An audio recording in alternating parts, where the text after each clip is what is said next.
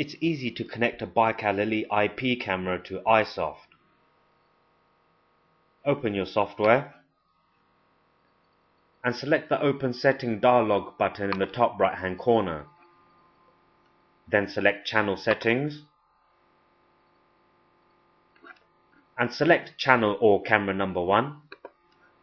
For module type, select unconstrained module for all IP cameras and for module select BiKal Elite Network camera. For device address, we will enter the IP address that we set for the IP camera previously. In this case is 192.168.0.199. If you are connecting to a remote IP camera, you would enter the external IP address for the internet connection at the remote site. Our port number is 9000 as previously configured. And the default login ID and password for BiKal Elite IP cameras is admin for login ID and 12345 for password. You can leave other settings as they are.